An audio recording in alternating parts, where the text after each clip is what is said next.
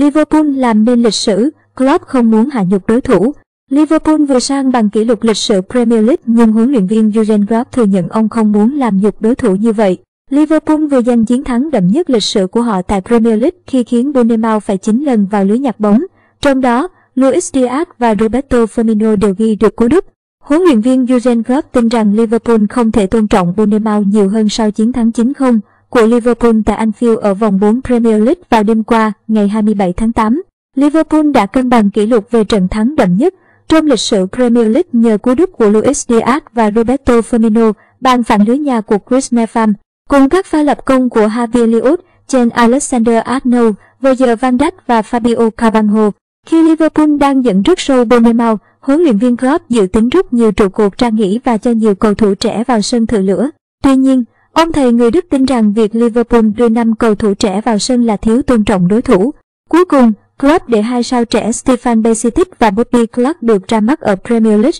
Trận thắng này giúp Liverpool vươn lên vị trí thứ 8 trên bảng xếp hạng Premier League sau khi The Cup chỉ giành được 2 điểm trong 3 trận đầu tiên.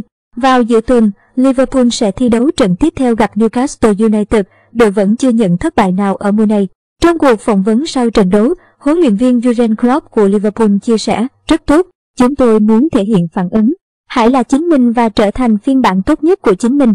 Chúng tôi chơi theo một cách cụ thể, chúng tôi đã ghi những bàn thắng tuyệt vời. Trận đấu ổn định và chúng tôi tiếp tục ghi bàn, đó là việc tiếp tục diễn ra. Không phải để làm bẻ mặt Bournemouth, chúng tôi đã không thể tôn trọng họ hơn, mà đó là việc gây áp lực cho đối thủ.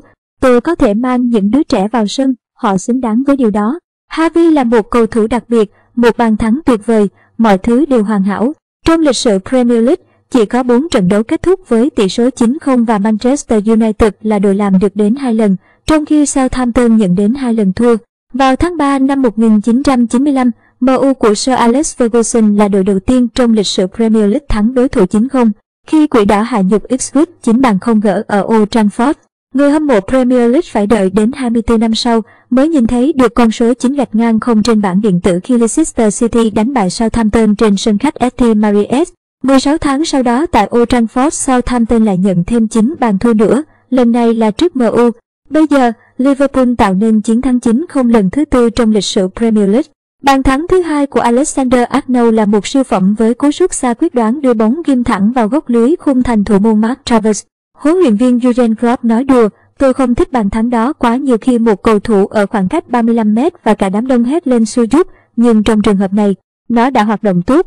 Điều quan trọng là phải cởi bỏ áp lực và chơi bóng. Hôm nay là sự kết hợp của thời tiết tuyệt vời và thứ bóng đá tuyệt vời. Chúng tôi không có điều đó thường xuyên ở Liverpool, vì vậy chúng tôi nên trân trọng nó. Ít nhất chúng tôi không còn phải trả lời câu hỏi đó về việc Liverpool không chiến thắng. Đây là một ngày thực sự tốt cho chúng tôi. Nếu Liverpool muốn thành công ở giải đấu này, chúng tôi phải thể hiện sự nhất quán. Đó là điều chúng tôi phải làm bây giờ. Đó từng là thế mạnh của chúng tôi. Chúng tôi sẽ xem Newcastle vào ngày mai, đá với Wolves và xem chúng tôi có thể làm gì để chống lại họ.